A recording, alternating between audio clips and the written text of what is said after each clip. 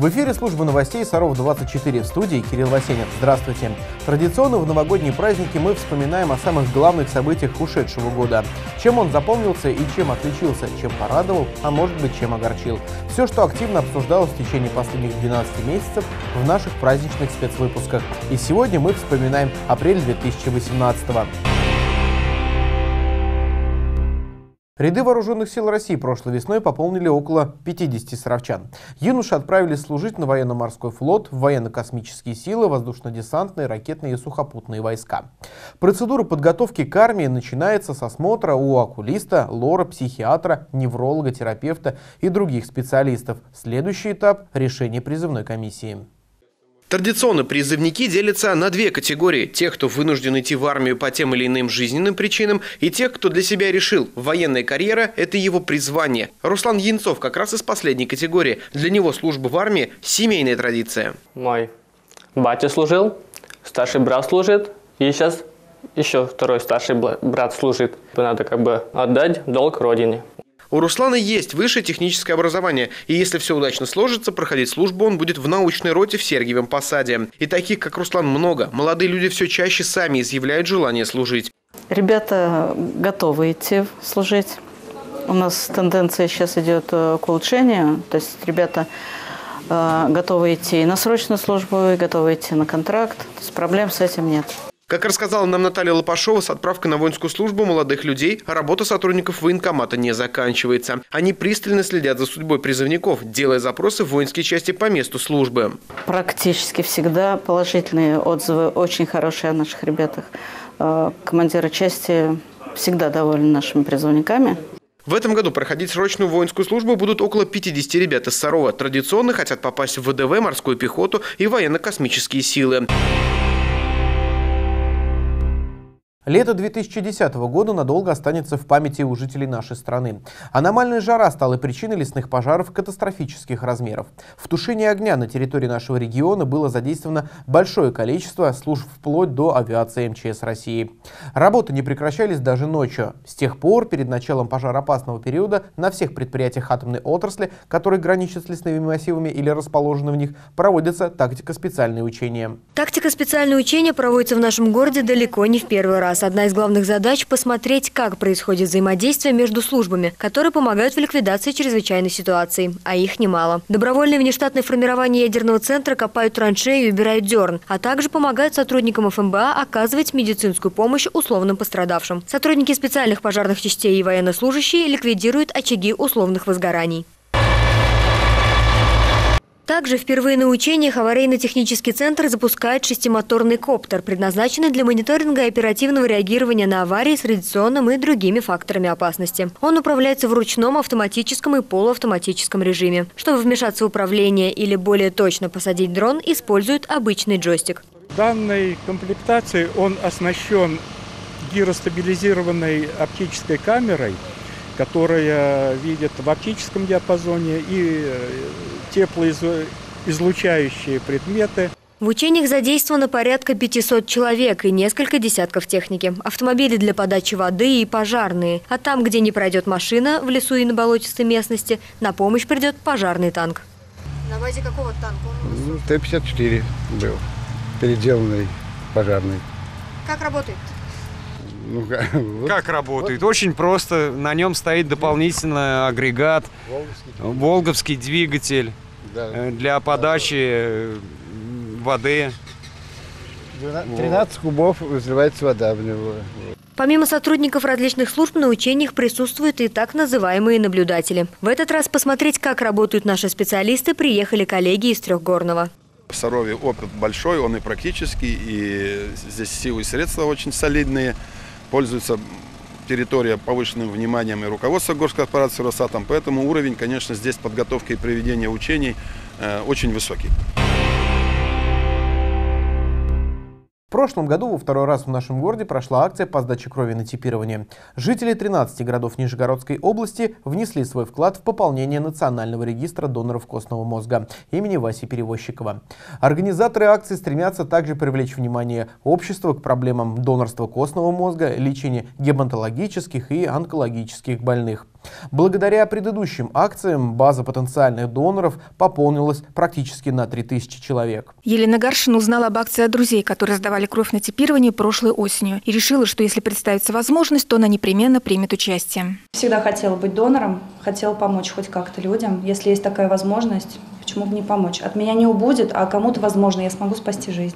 Друзья, коллеги, интернет, телевидение, саровчане узнают об акции из разных источников. Приходят сдавать анализ крови по одному и целыми компаниями. Процедура не занимает много времени. Потенциальному донору нужно подписать соглашение о вступлении в регистр и сдать 9 мл крови. Другие обследования на этом этапе не проводятся. Узнала из канала 16, э, ну, просто помочь, если вдруг кровь подойдет, почему нельзя детям, ну, больным людям помочь? Ну, я думаю, мы даем некий шанс людям с такими заболеваниями на выздоровление. Современные медицинские технологии дают возможность победить опасные заболевания и спасти человеческие жизни. Но сделать это можно только с помощью неравнодушных людей. Желание помочь ближнему движет людьми разных возрастов и профессий. В прошлом году в сентябре я сдавала кровь.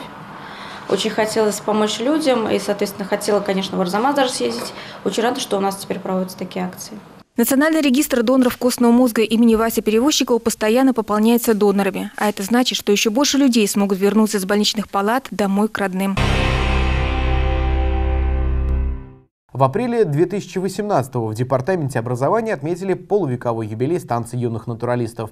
За 50-летнюю историю в ее стенах был накоплен богатейший педагогический опыт, который по сей день применяется при воспитании юных экологов и исследователей в области естественных наук. Вместе с этим станция юных натуралистов стала ресурсно-методическим центром по эколого-биологическому образованию в нашем городе. По случаю юбилея педагогам станции юнатов вручили почетные грамоты, благодарственные письма от Законодательного собрания Нижегородской области, городской думы, администрации и ядерного центра. Коллеги и друзья поблагодарили педагогов за добросовестный труд и неоценимый вклад в воспитание подрастающего поколения. Станция юных это самое небольшое учреждение доп. образования, но при этом самое наукоориентированное.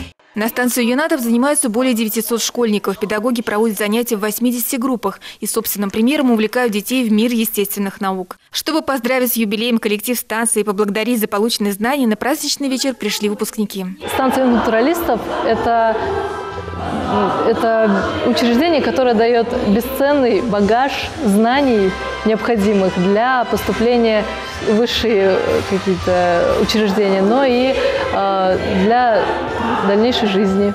Не оставили без внимания ветеранов. Цветы и подарки вручили тем, кто долгие годы работал и передавал знания об окружающем мире детям на станции юных натуралистов. Прошлом апреле жителям России в юбилейный 15 раз представилась возможность проверить знания родного языка и поучаствовать в тотальном диктанте. В 2018 было представлено три отрывка из романа «Дети мои», рассказывающих о дне из жизни учителя немецкой словесности.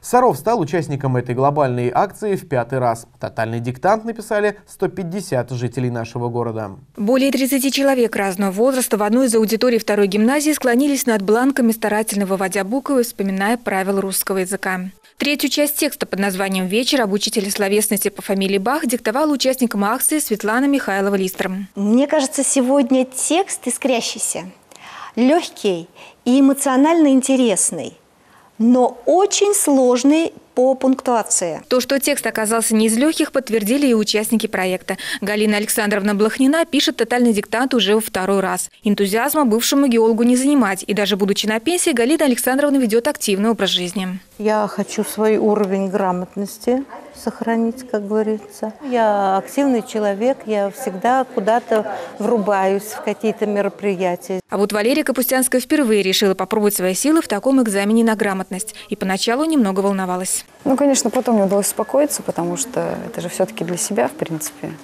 Оценка это только для меня, и мне на будущее будет уроком знать свои, может быть, сильные или слабые стороны. Тотальный диктант саровчане писали уже в пятый раз. По сравнению с прошлыми годами количество желающих проверить свою грамотность снизилось. Участие в акции приняли чуть больше 150 жителей города. В прошлом году Саров вновь присоединился ко всероссийской акции «100 баллов для победы». Ежегодно в ее рамках выпускники, получившие максимальные баллы на ЕГЭ, проводят мастер-классы и делятся своим опытом и секретами успешной подготовки к экзамену со старшеклассниками. Акция проводится по инициативе Рособорнадзора. Ее главная цель – снять у школьников лишнее напряжение, связанное с подготовкой к единому госэкзамену и настроить ребят на успех. Юлия Линик уже выбрала будущую профессию и вуз, где намерена получить специальность. Осталось сдать экзамены на максимально высокие баллы. Поэтому сейчас Юля бросила все силы на подготовку к предстоящим испытаниям. Но в первую очередь она старается справиться с волнением. Больше психологический барьер, поскольку я не знаю, что будет. Готовишься ко всему, но ты, ты не знаешь, что тебе выпадет на экзамене. Поэтому стараешься объять необъятное. Как выстроить график самоподготовки перед экзаменами? Как справиться с нарастающим волнением, которое перед ЕГЭ растет в геометрической прогрессии? За ответами на эти главные вопросы пришли старшеклассники трех школ нашего города. Советы давали их сверстники, которые получили за ЕГЭ высокие баллы и теперь учатся в престижных вузах. Полезными были и рекомендации тех, кто уже давно закончил школу. Вам, конечно, надо э, научиться не просто получать знания и демонстрировать их, но вообще учиться экзаменоваться. То есть преодолевать свое волнение, настраиваться на этот процесс. Свои советы дали и специалисты. О том, как эксперты проверяют экзаменационные работы, на что нужно обратить особое внимание, чтобы не были снижены баллы, рассказала член предметной комиссии по обществознанию. Психолог напомнила об основных способах справиться со страхами и волнением и провела небольшой тренинг. Для любителей хоккея сезон 2017-2018 стал особенным. Благодаря поддержке спонсора саровские хоккеисты-любители смогли вернуться в региональное первенство после многолетнего перерыва. И это возвращение стало триумфальным. Целый год хоккейный клуб Саров Инвест уверенно шел к званию лучшей команды области. В регулярном чемпионате спортсмены проиграли лишь один матч. За главный трофей соревнований саровчане сражались с хоккейным клубом Сеченова и смогли подарить своим болельщикам настоящий праздник. Это чемпионство стало по-настоящему по-настоящему долгожданным. Почти 8 лет Саров не был представлен на хоккейной карте области. В 2017-м наши спортсмены вернулись и сразу громко заявили о себе. Триумфальное шествие в регулярном чемпионате, блестящее выступление в плей-офф и, как результат, красивый финал. ХК Саров Инвест в трех матчах обыграл своего соперника из Сеченова. Конечно, ребятам тяжеловато сечь, но все-таки две пятерки играют. Наши в прошлой зоне играют хорошо, молодцы. Комбинации хорошие на уровне высшей лиги. Поляков нормально, Румынин хорошо играет, нормально ребята играют. Во втором матче финала на выезде в Сеченово наши спортсмены поставили рекорд сезона, забив сопернику за одну игру 23 шайбы. В последней, третьей встрече уже у себя дома саровчане решили не снижать темп и отправили в ворота гостей 21 шайбу. Сеченовцы смогли ответить лишь семью. Команда Сеченова – это очень достойная команда. Она вышла в финал, то есть это уже показатель в полуфинале. Они обыграли Виксу, достаточно сильную команду. Поэтому мы настраивались, мы сделали максимум. То, что хотелось, конечно, не получилось. Да, мы расстроились. У нас нет основного вратаря. Поэтому линия обороны, линия вратарская была слабая. Закономерная победа и заслуженный кубок. Поздравления с чемпионством саровчане принимали дома на своем льду. Вручить главный трофей лидеру в наш город приехал исполнительный директор Федерации хоккея Нижегородской области.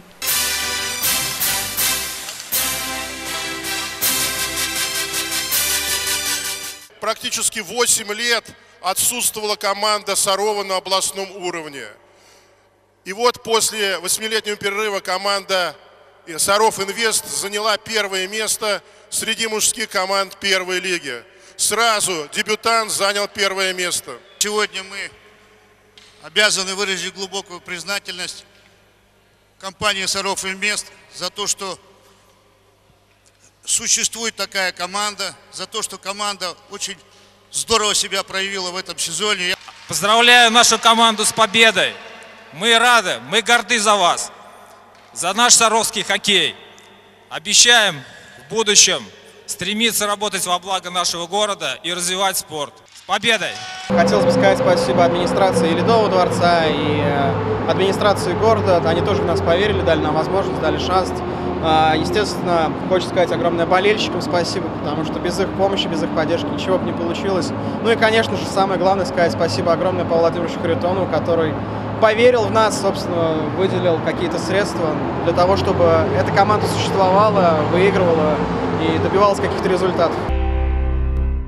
Таким нам запомнился апрель ушедшего года, ну а вспомнить важные для вас события 2017 и пересмотреть репортажи о них вы можете в любое удобное для вас время на нашем канале в YouTube.